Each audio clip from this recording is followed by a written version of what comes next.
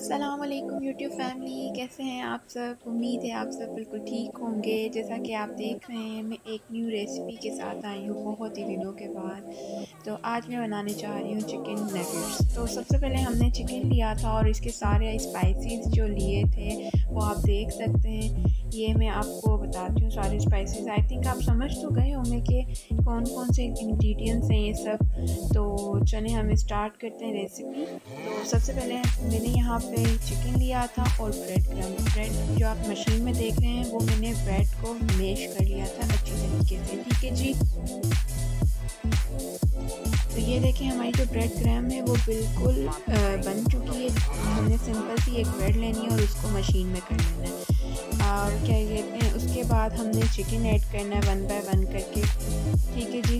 और फिर इसको हमने ग्रैंड कर देना है अच्छे तरीके तो जब हम नगेट्स बनाते हैं तो हम ये सारे इंग्रेडिएंट्स लेते हैं। और यहाँ पे आप देख सकते हैं मेरा किचन भी चेंज है। और क्योंकि मेरी अभी न्यू न्यू शादी थी की वजह से मैं कुछ ससुराल में तो से बहुत ही सब अच्छा चल रहा है।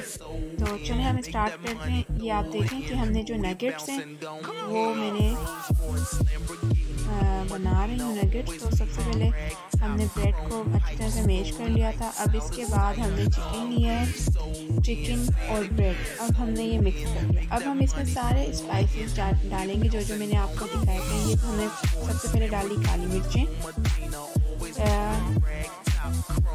टू टेबल स्पून ये आपके उसके चिकन के ऊपर डिपेंड करता है कि अगर आपकी चिकन ज़्यादा है तो फिर आप ज़्यादा मतलब स्पाइसेस यूज़ कर सकते हैं। और इसके बाद हम डालेंगे। ये साथ साथ मेरी जो है हेल्प करवा रही है। ये हमने डाली रेड चिली पाउडर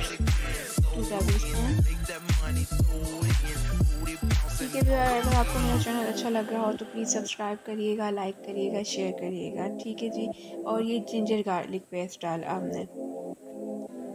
क्योंकि लहसुन और अदरक डालने से इसकी अच्छी तरीके से स्मेल ख़त्म हो जाती है चिकन की, और ये हमने डालना है वन टेबल स्पून हमने सोया सॉस डाला।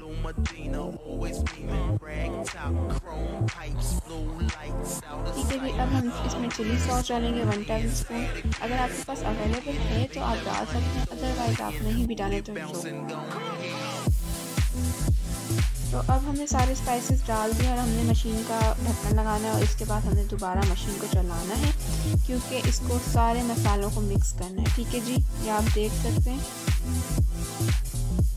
हमारे जो चिकन ब्रेड नगेट्स जो हैं, वो हमारे रेडी हो रहे हैं।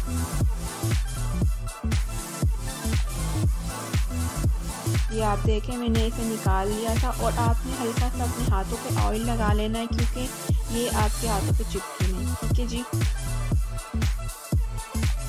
ये मैंने मशीन में से निकाल के रख दिया था कटर बोर्ड पे, और ये देखिए, माशाल्लाह कितना ज़बरदस्त लग रहा अच्छा जो मैं आपको बता बताना चल, बताती चलूँ कि जब हम नगेट्स बनाते हैं तो एक होता है सांचा, ठीक है, जिसकी हेल्प से आप बना सकते हैं। एक आप हैंड्स की मदद से भी बना सकते हैं। और वैसे भी जो नगेट्स की जो शेप होती है, आप किसी भी शेप में उसे रख लें और शो बहुत ही अच्छा लगता है। आप स्टार शेप्स के नगेट्स में, जो सांचे होते हैं, वो ले सकते हैं स्क्वायर में ले सकते हैं। लेकिन मेरे पास आंचा इस टाइम अवेलेबल नहीं था तो इसलिए मैंने हैंड से ही कवर किया। तो ये आप देखें, एक साइड में अंडा पड़ा और ब्रेड क्रम जो मैंने आपको पहले दिखाया था, और ये मैंने बना के रखे, बना के रख लिए थे। ठीक है जी, सारे, और सबसे पहले हमने अंडे की इसमें कॉडिंग करनी है। अंडे को आपने अच्छी तरीके से फेंट लेना है और उसके बाद आपने एक अंडे की कोडिंग करने के बाद आप एक ब्रेड क्रम मतलब के उसके ऊपर ब्रेड क्रम की कोडिंग करेंगे। ठीक है जी? अगर आप एक कोडिंग करने के बाद अगर आप दूसरी, ये दूसरी भी कोडिंग करना चाहें दोबारा से अंडे में डाल के, दोबारा से आप ब्रेड क्रम बनाए तो आपकी मर्ज़ी है। लेकिन मैंने इसमें सिर्फ़ एक ही कोडिंग की थी, उसके बाद मैंने इसे फ्राई कर दिया था। और जब ये बिल्कुल ही थोड़ा सा लाइट लाइटी लाइटिश ब्राउन हो जाए तो आप इसको पलट दे दीजिएगा। सो, बहुत ही ज़बरदस्त लुक आएगा। और माशाल्लाह से बहुत ही मज़े के बने थे। आप देखें, ये अब पक चुके और हमारी रेसिपी यहाँ पे रेडी हो चुकी है। सो so, आपको मेरा चैनल अच्छा लग रहा हो तो प्लीज़ सब्सक्राइब करिएगा शेयर कीजिएगा और उसके बाद मैं दोबारा नेक्स्ट वीडियो में आऊँगी इन आज के लिए अल्लाह हाफिज़।